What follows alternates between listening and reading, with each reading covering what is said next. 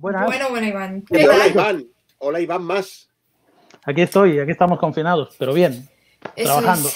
¿Cómo estás? Diseñador gráfico, ilustrador. Bueno, bueno. Bien, bien. Yo estoy aprovechando para, adelantar muchas cosas. O sea que eh, yo normalmente ya vivo, ya vivo en plan ermitaño, o sea que en este aspecto sigo, sigo a las mías. Yo llevo sin salir desde el día 11 más o menos, una cosa así. O sea que ya me pilló la cuarentena. Te encerraste antes que me, puse, me, puse, me puse a trabajar y a partir de ahí ya vino la cuarentena y bueno, pues ya que estoy avanzo, o sea, en fin, pero bien, bien, estamos bien, no nos podemos quejar, ¿no? Oye, no sé si tenéis eh, papel y boli preparado para dibujar, ¿tenéis? Porque ya que nos va a enseñar Iván a dibujar. Yo tengo, yo tengo, el metálico mío. Vale, vale, pues un momentito, voy a por un boli. Mm. ¿Queréis empezar ya o, No, no, vamos a esperar a Pati.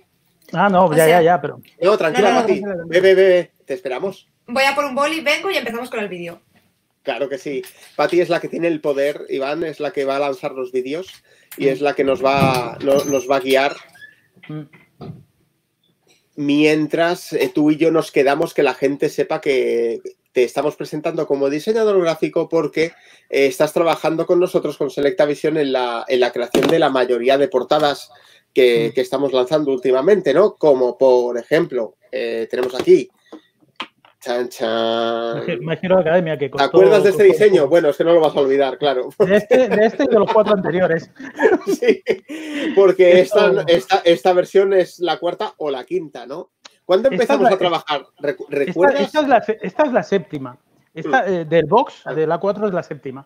Y esto salió un 22 de, diciembre, creo que fue, que me llamaste tú por la mañana y me dijiste, ¿qué planes tienes para Navidad? Dije, lo que tú me digas. Un poco antes, una semana antes de diciembre, porque yo ya sabía, que ya lo habíamos hablado, yo ya mm. sabía que esto, que esto, se, que esto iba a ser complicado, el diseño de esto y que lanzando el 27 de marzo teníamos que empezar, pues eso, el 20 mm. de diciembre. Y, sí, sí, me dijiste eso, ¿de qué vamos a hacer en Navidad? Digo, lo que tú me digas, trabajar, digo, pues trabajamos. Nos trabajamos, claro. Sí, sí, y empezamos menos mal, ¿no? Porque ahora, claro, estamos así como estamos, no, en cuarentena. Pues. No, pero la verdad es que el resultado es bastante bueno, al final quedó, ha quedado una edición muy chula y muy bonita. El, el resultado es muy bueno. Bueno, el mm. primer resultado que nos presentó aquí eh, Iván también era muy bueno, pero luego todo pasa a un proceso de aprobación en Japón, tiene que verlo el licenciador, el licenciador tiene que enseñárselo mm. al, pues, al dueño de la licencia original, que en este caso es Suiza, que edita el manga, como sabéis. Entonces esto lo ve muchísima gente en Japón y nos llegan muchísimas correcciones y mucho más y mucho más difícil cuando es una serie del calibre de, de My Academia, ¿no? Bueno, pero, pero, pero hay que decir, como te digo muchas veces, y que normalmente cuando pasamos varios filtros de cambios, eh, sobre todo el caso de Toei, de Dragon Ball y todo esto, que normalmente los cambios que te dicen o que te piden normalmente siempre son bastante lógicos. Mm. siempre son fallos un poco que uno pues se pierde las ganas de querer hacer o, o, a veces un propio error, entre comillas, editorial, que el volumen llega hasta un número, eh, de capítulos y tú has puesto un personaje que por lo que sea no, no está incluido dentro de ese, de ese volumen de capítulos. Em, pero, pero en general todas las productoras o todas las licencias, cuando te dan cambios, siempre suelen ser bastante lógicas. Eh, a partir de ahí tú sabes, Manu, que esto lo podrías contar tú mejor, que eh, siempre hay comités y, cambian, cambian, van cambiando como de comités. Siempre hay unas pequeñas como normas, que esto normalmente para todos suele ser la, para todas las, las series suelen ser las mismas, o muy parecidas, como no cortar el personaje por la mitad, eh, no cambiarle el color. Caso de Dragon Ball, pues. No hacerle efecto espejo, claro, un montón de cosas, no deformarlo. el caso de Dragon Ball es, muy curioso porque eh, hay un tema con las bolas y es que tienes que poner siempre eh, o una bola en portada o todas. No, no puedes poner tres, no puedes poner dos, tienes que poner o una bola. Las bolas van, van juntas siempre, las siete. Sí, sí, tienes que, puedes poner una a modo de homenaje o algo, o las siete, tienen que ir las siete. Y evidentemente las bolas no se pueden girar, que acuérdate que la primera vez que diseñé yo algo, las giré como para darle casi, no, no, no, casi llamada a la Interpol. Pero bueno, este, este tema será algo que trataremos con Jenis, por ejemplo, en ese especial que nos ha prometido, porque, porque ahora, porque ahora nos, eh, nos, vas a hablar de más de tu faceta de ilustrador, mm. dibujante, mm. ¿no? Y nos tienes preparado un tutorial, ¿verdad, Pati? ¿Nos tienes preparado un tutorial? Bueno, realmente, realmente el tema, el, tema, el tema de dibujar Goku o dibujar personajes de Dragon Ball no es, no realmente, no es muy complicado. Lo que pasa es sí que es algo como muy mecánico y es, es tenerle las posturas pilladas y entonces yo he optado por hacer un, Goku de frente que es, lo más fácil, digamos. Sin embargo, no, he querido hacer una simetría porque al final, sobre todo con el tema, con el tema informático, recursos de ordenador hoy en día, es fácil dibujar una mitad, cortarla, hacer efecto espejo, ya tienes las dos. Eh, esto mm, es un poco, un poco vago, ¿no? Entonces al final lo hacemos todo y ya está. Eh, pero sí, sí, realmente eh, yo llevo dibujando toda la vida y el estilo que tengo de dibujo no, no se parece para nada a Dragon Ball. Pero bueno, al final cuando te dedicas un poco a estas cosas, pues tienes que adaptarte a todo. Y si hay que dibujar Dragon Ball, oye, encantado, ¿eh? encantado, ¿no? sí, sí, sí. Entonces, claro, eso es que yo quiero aprender. Aquí lanzas ya, Patricia. Sí, lo que voy a hacer es eso. Mira, el vídeo es, chicos, este vídeo tampoco tiene audio, ¿vale? Porque mm. eh, se, verá a, Iván dibujando y mientras tanto, pues él nos irá comentando un poquito. Sí, tú nos haces de, de máster. Sí, bueno, yo, dibujo con el Photoshop normalmente. Entonces, empezamos haciendo el típico óvalo eh, en una capa de color azul, eh, que esta es la que digamos que nos va a servir de, de boceto. Venga. Da igual si es rojo, azul, menos negro, que es tinta, digamos, eh, al final eh, importa poco. Eh, se, divide por la se, divide por la mitad, se hace la línea de ojos y luego, para el tema de las cejas, en este caso, como, como Goku está enfadado, en este caso le hacemos unos triángulos de aproximadamente 30, 30 grados. luego lo que es el flequillo son tres pelos principales, digamos, que hacen de flequillo y luego otros dos que quedan por encima de las orejas. Como veis, está en modo Super Saiyan. Y como digo, esta es la parte más importante. Fijaos que poco a poco pues, se va viendo cómo, va saliendo el, dibujo. Eh, y luego los, pelos de los lados, yo siempre intento hacer como una especie como de cuernos o algo así. Que hay que decir que la primera vez que Goku sale en Super Saiyan, el pelo no tiene tanto detalle. Ahora aquí vemos cómo hago otra capa, que es la capa, eh, una, segunda capa de línea negra, donde vamos a marcar un poco más la, facción. Le quitamos opacidad a la capa azul para poder ver eh, la línea negra que metemos por delante. A partir de ahí definimos el contorno. Fijaos que es un estilo de un, Goku más o menos bastante clásico, de los años 90, un poco de, del, estilo de, de, cuando célula o más o menos. Célula. De lo que nos gusta a nosotros, a los viejunos. Sí, sí, es que al final es, es un poco estilo Maeda, con las facciones marcadas. Ahí vemos, vemos cómo vamos eh, poco el, de el, Yamamuro también lo hacía así, que tú lo conociste, el Yamamuro, cuando sí, ¿te acuerdas? Sí, hay, hay, varios, hay varios. yo sí Yamamuro cuando vino al mm. Salón del Manga. Mm. Hay varios. A mí los que más me gustaban son el, el Maeda, que es cuando el final de, bueno, es cuando, cuando la batalla contra la lucha contra Vegeta. Y luego algún capitulillo más de por ahí. Y Sato. Ahora ves que creamos una segunda capa y aquí es donde ya, digamos, empezamos a definir eh, lo que es el, eh, la línea, la tinta del personaje. Ahí ah, marcamos bien el tema de los ojos, lo que os decía, la, la línea a 30 grados más o menos, que es el, los grados oficial de, oficial de enfado que tiene esta gente, siempre los dibujan así. Sí. 30 grados enfadado, ¿no? Sí, sí, sí, 30 grados siempre es enfadado, sí. Y, luego la boca, este, este gesto característico le hacen de como de torcer la boca, que tiene, le da mucha fuerza y le da mucho, mucha personalidad realmente al dibujo. Ahí definimos bien lo que es el contorno de la cara. Y la nariz siempre es como este triangulito eh, o esta punta de flecha y luego siempre ha acabado como en, otro, ahí quitamos las capas para ver que vamos bien y metemos las líneas de, refuerzo, que son estos, estos mofletes que a mí de, pequeño tanto me costaba hacer. no, sé por qué, pero me costaba mucho de hacer esos, esos mofletillos. Y las orejas que siempre recordaos que tienen que quedar más o menos entre lo que es la parte baja de la nariz y el principio de la ceja. Si estiramos, madre, si estamos en perspectiva. Estoy repasando el dibujo yo aquí también, como hace Pati, y se me han olvidado las orejas, tío. yo también las he puesto ahora. las, estoy poniendo ahora, Pati, yo también. Digo, las orejas. realmente da igual, ¿eh? Luego es muy importante el tema de, los, de, los, de los flequillos que tenga, porque es muy, es muy característico y solo con que nos dejemos uno, mm. ya realmente luego el aspecto al final se nota, ¿no? Entonces, siempre es el, siempre son los tres flequillos, los tres pelos delanteros y los dos de los lados de, arriba, digamos. Sí, si te eh, pones una ristra de plátano, ¿sirve también en la cabeza? Sí, seguro, seguro. Hay algún cosplay así que es este plan. yo lo he visto, yo lo he visto, este cosplay. Y, queda bien, ¿eh? queda bien, no, importa. Mira, hablando de pelos, ahí tienes pelos, venga. Sí. Luego, realmente, las líneas estas que, le ponen eh, a los mechones, a mí, a mí me gustan mucho porque eh, cuando la primera vez que llamamos algo con Super Saiyan, recordaos que el pelo apenas tiene detalle, es como, es como un cartón ahí pegado. Eh, y realmente eso a mí no me acaba de gustar porque el dibujo de Toriyama, pese a lo sencillo que es, está muy elaborado y eso se veía un poco cutre, por así decirlo. Suerte que con el tiempo se dieron cuenta y para mí rectificaron y empezaron a, calzarle lo que es las líneas en el, en el flequillo y en el pelo, que para mi gusto quedan mucho mejor porque ya digo, la otra, pese a ser muy mítico y estar guay también, eh, era, muy, era muy cartoncillo, ¿no? No muy bien de, saber por qué todo el personaje tenía tanto detalle y de repente el pelo era tan plano, sobre todo en la parte de arriba de, cuando se transformaba en Super Saiyan, que era como un pico así y ya está. Eh, bueno, luego ya te digo, yo a la hora de hacer los, el, tema de los pelos, pienso mucho en cuernos, en, cómo, le, cómo le sentarían pues llevar, llevar esta cornamenta.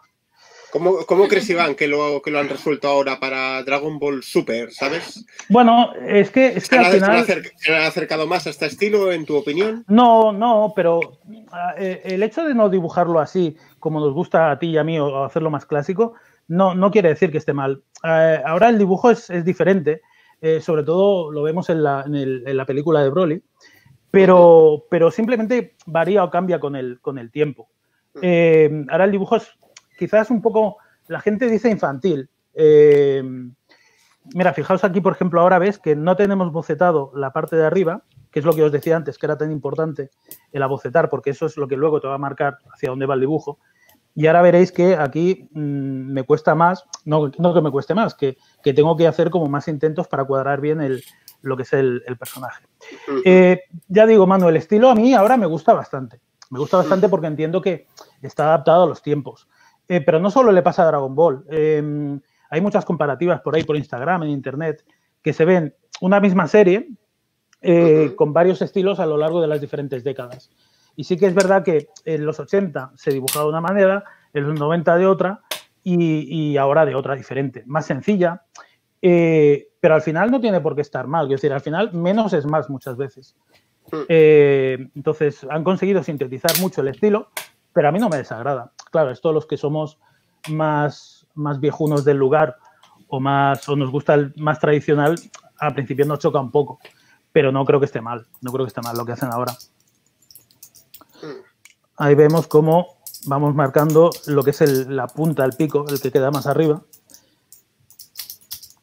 Y luego, sobre todo, eso sí, eh, intentar tirar de una trazada. Si dudamos mucho, al final nos, nos, acaba costando, nos acaba costando más. Yo creo que lo suyo es tirar la trazada entera y, el dibujo queda como mucho más natural y mucho más vivo. Sí, ya lo estoy viendo, que has rectificado tú mismo cuando has hecho a mitad de trazo, mm. lo has rectificado y lo has hecho completo.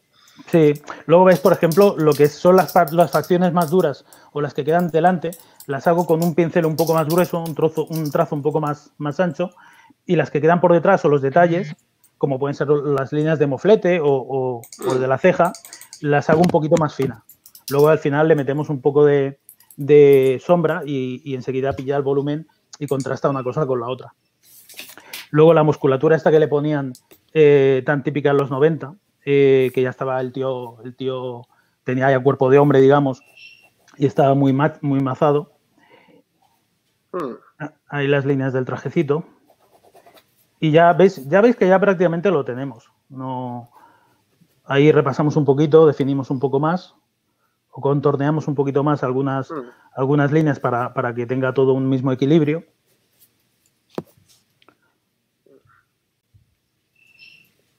Está genial ver cómo coge la forma total Sí, sí. El primer boceto que has hecho. Sí, pero fijaos que si, si, si vemos lo que es el azul, el lápiz azul, boceto mm, rápido, mal hecho, entre comillas, y, lo que es el final, es prácticamente lo mismo. Lo único que una cosa está más definida, tiene más definición, y la línea es negra, y lo otro simplemente es, en azul. Pero, pero por eso digo que es muy importante el tema de bocetar bien, que es algo que yo cuando, cuando era jovencito no lo hacía y mis profes me daban de cuello y yo pensaba que realmente la bocetar era perder el tiempo. Yo quería empezar y acabar.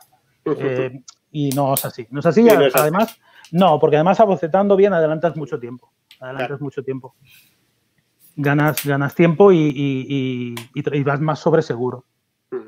Luego, mira, ponemos unas líneas ahí, podemos poner un fondo de estos random que, hace Toriyama, eh, que hace siempre como unas ventanitas. Esto lo recordamos sobre todo de los cómics. Eh, las páginas sí, final. Divide la viñeta en, tres ventanas a veces. Sí, sí, sí. es un estilo Toriyama total. Entonces, hacemos un, pequeño fondito, hacemos como un marco, que luego mm. lo típico iría a color o lo que fuera, y ponemos pues lo típico que hacía él, que era muy recurrente, sobre todo ya al final, que era pues unas nubecitas y un y un y, unas, y unas montañas con áridas que al final siempre acababa luchando esta gente en el mismo entorno, ¿no? Y, si, no era este, como en la peli de Broly, lo, convertían en eso, quiero decir. Qué chulo te está quedando. Oye, Iván, vamos a contar, ya que estamos aquí, eh, para, darle, para darle a la gente también anécdotas, eh, con, Iván, cuando estábamos lanzando las películas de Dragon Ball en Blu-ray, se nos ocurrió pedirle a Toy Animation eh, que los packs que íbamos a lanzar de Blu-ray tuvieran unas portadas totalmente nuevas, ¿no? Entonces, esas portadas totalmente nuevas se le pidió a Toy Animation. ¿Qué se nos ocurrió? Eh, se nos ocurrió eh, que una de las portadas eh, teníamos muy claro que tenía que aparecer el Broly, ¿te acuerdas? que ya somos grandes fans de Broly mucho, mucho antes de Dragon Ball Super Broly. y en otra de las portadas tenía, que, tenía que aparecer Yanemba. Yanemba no, ah. sino su, eh, sino su, eh, su, última transformación. Eh, exacto, el último estado. Exacto. Entonces, el, tema es que le pedimos a Iván, le pedimos a Iván, oye Iván, vamos a hacerlo, en vez de decirle a Toy Animation que vamos a, que, queremos poner este personaje que esté en esta posición y luchando contra este otro personaje que tenga este fondo, dijimos, ¿por qué no se lo dibujas y se lo enviamos? ¿Te acuerdas de eso? Sí, sí, porque es que al final, claro, tú puedes pedirle a Toei eh, que te hagan una ilustración. Tú puedes decirle, pues mira, necesito un Goku o necesito un Janemba. Luego, a partir de ahí, ellos te hacen un poco eh, el dibujo, la ilustración o la pose que, ellos quieran. Eh, cuando a lo mejor a ti lo que te interesa, te interesa otro, otra pose, una pose en concreta para un diseño que quieras, que quieras hacer. Entonces, una de las muy buenas cosas que tiene Toei es que tú, por ejemplo, les envías un esbozo o un dibujo tipo lo que acabamos de ver y ellos simplemente lo que hacen es le dan el visto bueno y a partir de ahí empiezan a eh, hacer pequeños cambios, adaptándolo un poco al estilo más de hoy en día, que esto a mí, cuando, cuando me lo tocan así, me lo adaptan un poco, me, me fastidia un poquito el corazón, pero, pero también lo entiendo. Y a partir de ahí te lo envían para que tú les des un feedback y un poco lo vamos haciendo entre, entre, los, entre las dos partes, digamos. Mm. Eh, pero, la anécdota viene cuando, cuando yo le dije a Toy Animation, cuando estaba empezando esta edición, oye, que te voy a enviar un, un boceto, un boceto para que te sea más claro. Y Toy Animation, vale, vale. Entonces cuando envía, eh, Iván me envía los dibujos, no me envía un boceto.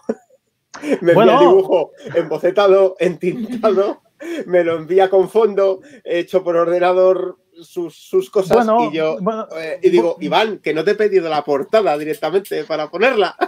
Bueno, claro, y, pero... y tú me decías, no, no, envíale esto que está más claro, que está más claro así. No, claro, porque al final si tú le envías un boceto o un esbozo o una, idea, es más, es más subjetiva y es más, eh, ellos pueden cambiar más. En cambio, si les envías un, dibujo acabado con un nivel mm, de 10 o, totalmente editable o de 9, ellos ahí están pillados. Es decir, no te pueden hacer nada peor que eso.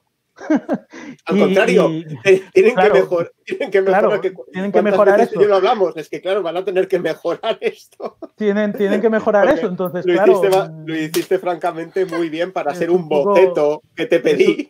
Es, un poco hacerlo, hacerlo, bueno, pues hacerles una trampilla.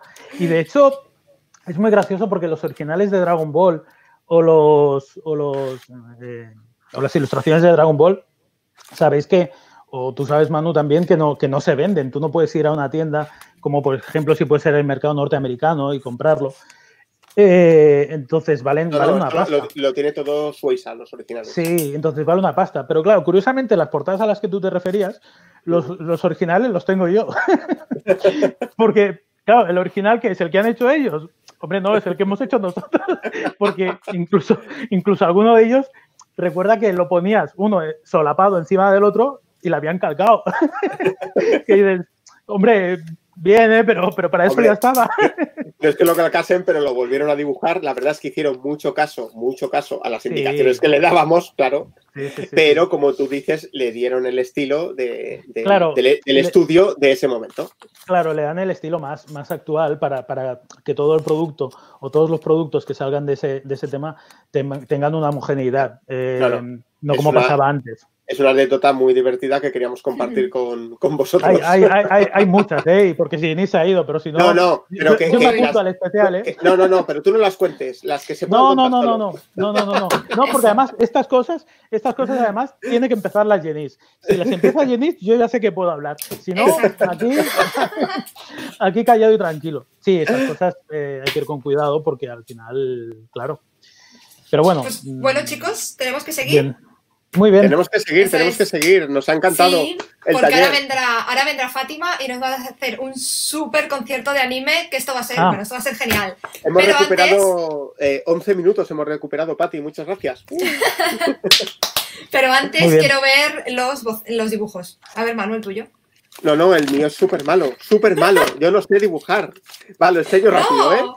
Va, Vale. no, no, no sé dibujar. Una, dos, Yo- sí. Bueno, No, oye, bueno, eh, no cuidado, mentía, no mentía. Se intuye. Yo el mío lo tengo aquí, mira. A ver, a ver. Oh. Maldito sea. No, largo. Vamos a ver, vamos a ver el de Pati. Bueno, yo, el mío no está tan bien como el de Iván, la verdad. Pero bueno, estoy, estoy bastante orgullosa. Oh, ¿Qué pues te ha opinas? quedado muy bien. ¿eh? Oh, muy bien, muy No bien. está mal, Manu, ¿no? la, la siguiente portada que la haga ella. está muy bien, está muy bien para ti, de verdad. Para ser mi primer Gokus, no, No, sí, está sí, mal. sí, sí, sí. Eso es que lo has explicado bien, Iván. Eso es que lo has explicado bien. Sí, Sí, sí, sí. Yo ol- olvidé las orejas, ¿sabes? Tal. vaya. bueno, no pasa nada. Bueno, bueno, pues a ver si en el próximo especial de Dragon Ball aprendemos a dibujar más personajes, porque yo ya estoy cogiendo el truquillo, Bueno, muy bien. ¿vale? Sí, a, a Pati Muy la bien, tenemos chicos. como alumna aventajada, Iván, para ti. No, no- no hay, no hay pro- no hay problema. Pues Muy muchas bien, Iván. gracias. Muchas Muy gracias bien. por haber estado con nosotros. Besos y abrazos. Los abrazos cuando volvamos de la cuarentena. A ver si pronto. Cuidaros. Sí, Hasta luego. chao. Cuidaros todos. Hasta luego.